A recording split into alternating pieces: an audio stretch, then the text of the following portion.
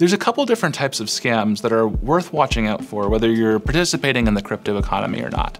The first type of scam that we want users to know about is called a tech support scam.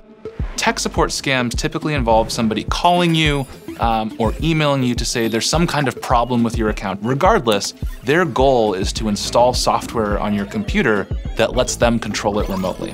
If an attacker gets access to your computer via remote desktop software, they can literally do anything on your computer as you. Say you're logged into your Coinbase account on that computer, the attackers could go to that page and send all of your crypto to their address. I would not allow anyone else access to my account. If you ever talk to somebody and they say they need you to download software in order to do some troubleshooting, that's a very, very big red flag.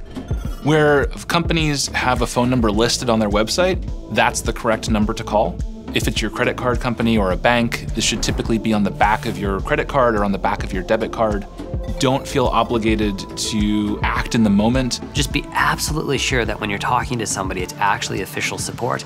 And even if you are tricked in talking to somebody, whoever you're talking to, never give up your credentials, never send money off site just because you're told to, and never, ever, ever give somebody access to your computer so that they can supposedly help you out. The main way to identify if something is a scam or not is are they pressuring you to do something right away? Scammers will try pressure tactics such as saying, it's an emergency, we need you to move your funds to this address. And they're relying on you panicking or thinking that your account is compromised. Attackers are preying on two things, your hope and your fears. So if something seems really good, it's probably a scam.